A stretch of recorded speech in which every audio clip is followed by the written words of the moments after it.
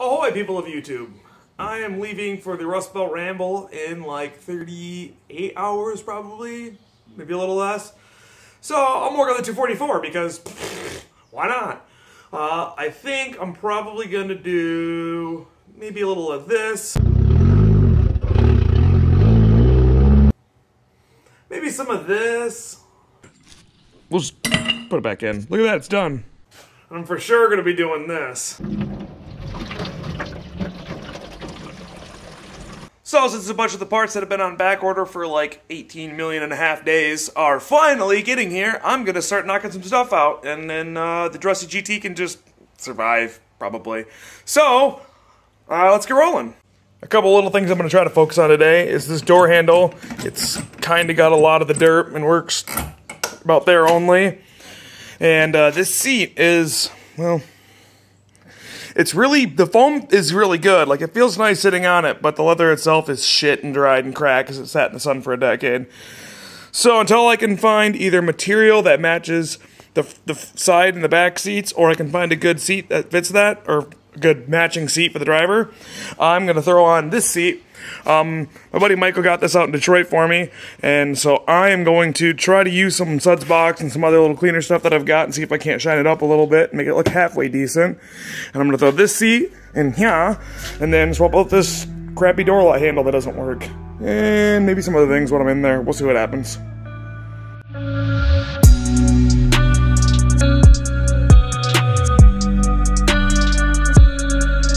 Well, I realized I didn't have a good brush, so I used this stuff right here. And uh, overall, I would say improve. It's a little bit dirty up here yet. I probably should make another pass with it at some point in time, but I'm not planning on keeping this seat in here forever, so I'm not super worried about it. But anyway, let's go rip this old seat out and get her in here. Well, I got the seat out, and then uh, looking at the carpet, I was like, yeah, I should really vacuum it out. I should really go grab the three-wheeled shop vac. And then if I'm thinking, might as well do that, I might as well clean the floor mats. Since these things, I didn't clean them last time because I was lazy. So, well, with the power of some uh, editing magic and the internet and wizardry and all those things, I'm going to make everything look nice right about... Whoa, no, too soon, internet magic, too soon! Alrighty, got the interior all cleaned out, got the floor mats all shined up, looking a ton nicer. I ran some uh, Chemical Guys VRP, it's called on the dashboard up here, because basically this stuff's all super, super dried out, and I ran some over the top of here, kind of give some life in the plastics, because everything's dry from sitting in the sun for a decade or so. And I happened to uh, get this off. I tightened up the uh, handle thread like about three turns around, which makes the handle work quite a bit better. But while I was digging through here, I happened to find some bonus items. I don't know how well we can see this in here, but a lot of pine needles, and unfortunately, if I can get my camera to focus on it properly. Um, this is going to be a terrible angle, but yeah, it's not really picking up. But there's a Scotia rust starting right here. So I'm going to vacuum everything out in here. I'm going to oil the inside of this up, kind of give it some life. I may end up popping off all the door panels and pulling all these out because I really don't want this to happen again. Or to get worse, I should say. So, on to that now, I guess. Alright, we are officially back together. Found a bunch of pine needles in the bottom, got them all vacuumed out. I think I'm gonna have to re-clean this door panel because I got it all dirty with my dirty mitts. But, got the floor mat shined up nice, got the seat looking a lot better than it did. And, uh, some of the plastics, I got some of the plastics cleaned up from this stuff. I think I mentioned that earlier in this part, but I'm doing this so spaced out and everything like that. I don't really know what's who's, when, where's, and how's. So, I think that's going to be all for the interior. I may pull all four door panels off, though, right now for fun and just see if there's any other pine needles in here. Because I'm kind of nervous about that, if I'm being honest. But, I don't know. We'll see. I got the mirror all messed up. I should probably sit in here again. Get the mirror readjusted and the seat adjusted. Beep, beep, beep. Look at that Volvo. Covered in rust. So now moving out of the trunk seal leak that you guys saw a little bit in the intro. Um, I threw my GoPro in the trunk, hit record, and uh,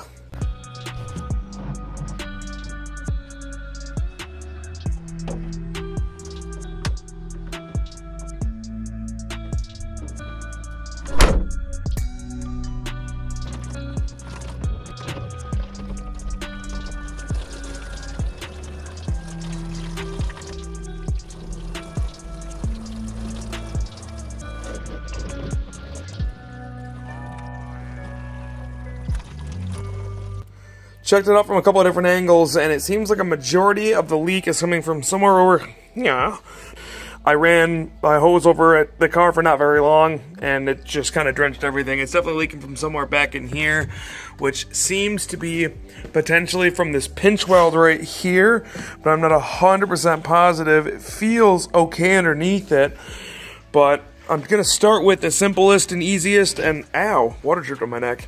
Cheapest, theoretically, solution, and I'm just gonna replace this whole trunk seal. So, I have a seal coming right now from VP Auto Parts which I want to give a huge shout out to uh, David Bellows on YouTube. Uh, he's mentioned them a few times in videos past, and uh, finally, after one of the most recent 164 videos of his I watched, I decided, yeah, I'll check their website out and see what they got finally. And they had a trunk seal for like 38 bucks, I want to say. Easily four times cheaper than IPD wants for one, because my initial plan was to go to a junkyard and try to pull one, but the likelihood of a trunk seal on a car that's been sitting in a salvage yard for forever. Not very likely that it's going to be good. So, super stoked on this. Uh, that should be here, I believe, in like a week or so, which will probably be gone for the rally at that point in time. So, just trust that I probably put that on. Um, because I sadly don't have too much time until I gotta get going, because I really should be packing right now and not dinking out in the garage, but get around to the garage is way better than packing. Trust me. Alrighty, well, dialing in the suspension issue right now. Um, for starters, I really regret doing the trunk floor situation thing before I curl underneath here because my back is drenched and everything is dripping water on my face.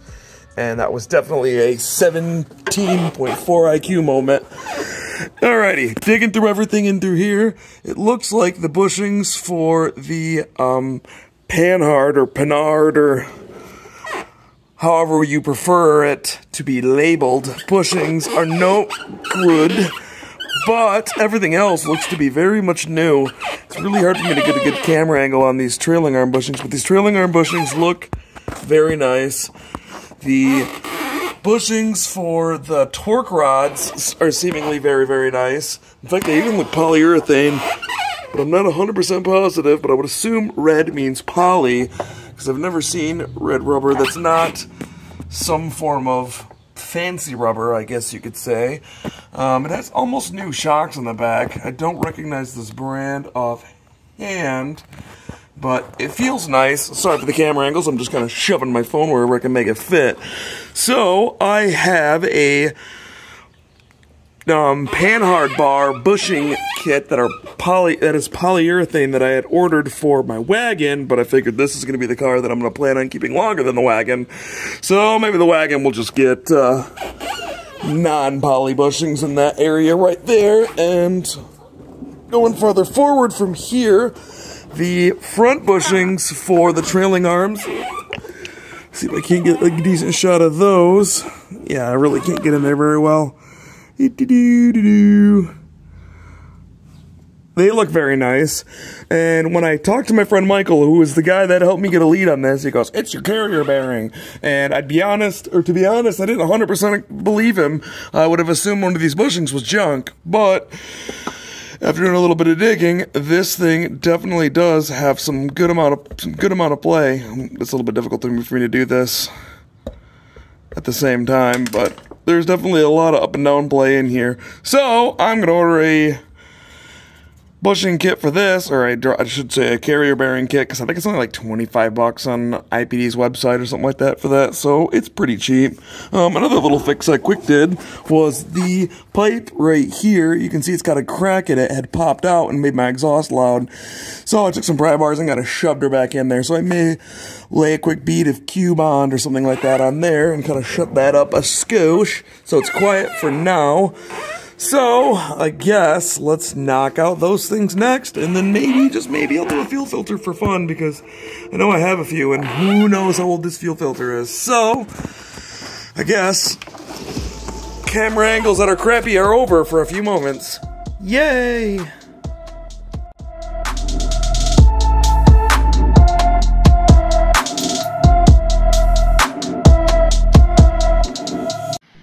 Well, upon a little bit further of inspection, um, these Panhard bushings are actually not too terrible, and they're OEM Volvo. There's a little bit of cracking on them, but If I put a bolt inside of them, it's probably gonna be a little bit difficult to do with one hand. Um, there's really no, really no play in them. There's a little bit, but not much. And over here, the bushing's a little bit rougher, but this one looks super nice and there's really no play. So I don't know what I was finding. Uh, turns out I'm just a moron. That's not, that ain't a surprise. So we're just gonna go ahead and uh, put that back in and pretend that we never did that. You know, I could edit this out of the video and you guys would totally never know and think I'm like, you know, super smart, but nah. We'll just put it back in. Look at that, it's done. All right, well, one super exciting thing did show up today, and that is the lower chassis braces. Super stoked about this. Gonna finally get these on. These are from Yoshi Fab. Been waiting on these for a little while. Uh, I ended up ordering a couple of other different things from him that he was waiting on some materials for. So I'm gonna throw these things on. Um, I probably should check what size sockets and fasteners I need for this, but I'll just figure it out when I get underneath there because why would I check now? That would be dumb. So Let's go. I think I may change the engine and transmission mounts while I'm in there too, because this engine is a little bit loose and this trans mount's not great either, so might knock those out today too while I'm at it. We'll see how I'm feeling. But anyway, let's uh, underneath here. This is the part where I definitely should have listened to myself and actually checked, because uh, it is not the same Allen on the front and the rear. It is a 10 millimeter Allen for the main bolt in the back, and a, I want to say a 6 millimeter for the front, and a 13 millimeter wrench. So I had to dig around for a little while and thumbed around and thought I could make it work, but turns out I couldn't. So definitely listen to uh, yourself when you figure you should check tools ahead of time. Little life pro tip from me to you. You're welcome.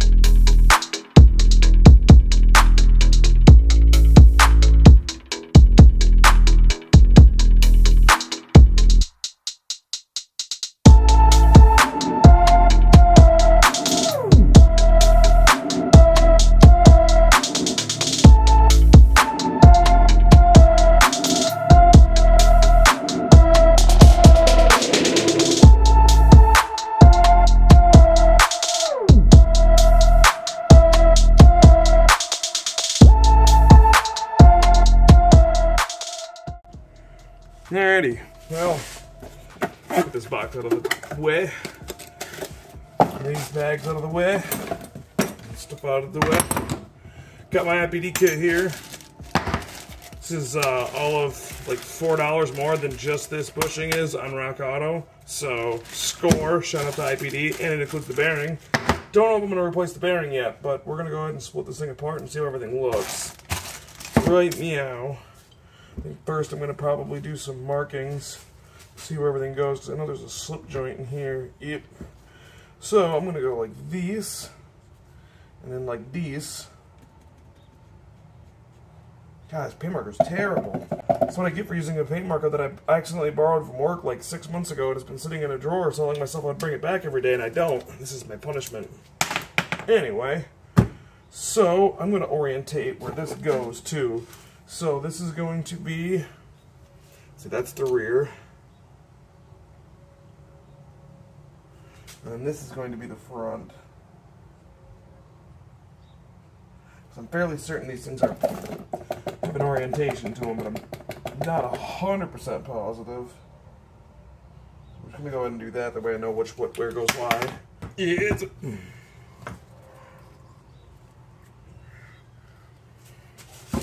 really don't want to scratch up this surface.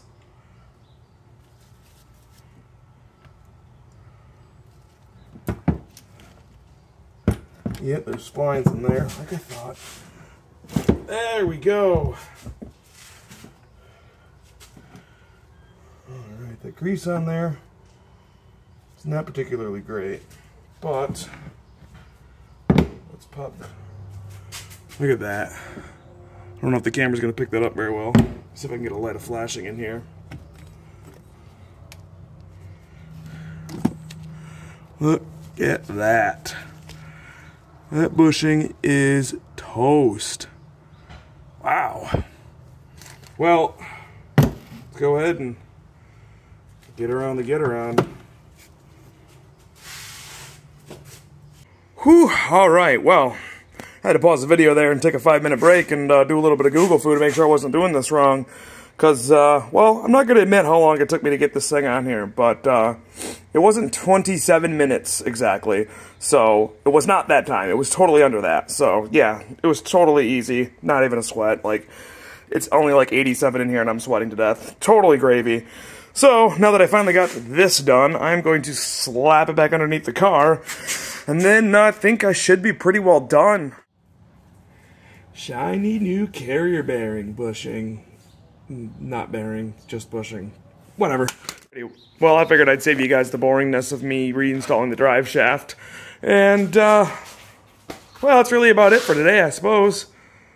As much as I'd love to kind of hang out here for a few more hours to get a few more things done, like the uh, engine mounts and rebuild the struts, to get the tires and everything painted, I really got to hit the road for uh, Rust Belt Ramble. So I got to get packing go uh, check the fluids and get everything in the car that I'm going to probably never need, and all the things that I won't need, I'm going to leave here, and uh, whatever not. So, uh, thanks for watching, guys. Really appreciate it. Uh, keep an eye out for the next video of this thing. I'll probably do the strut rebuild. I'll probably paint the wheels, get some tires mounted to melt to those, and I'm hoping at some point this year to take it out for autocross. I've never done any autocross in my entire life, and I figured this would be a great car to try it out on. Um, I'm contemplating running IPD lowering springs and a couple other little doodads and gizmos and things like that, but I think I'm just going to run it as it is with some uh, decent tires on it, and see what happens. I'm probably going to get lost, probably going to look like an idiot, but I've never done it. I've always wanted to. So I think it'll be a ton of fun. Um, I'm definitely going to uh, enjoy driving this car once I get a little bit more done. I'm going to hit IPD up here pretty soon and get a few more things ordered.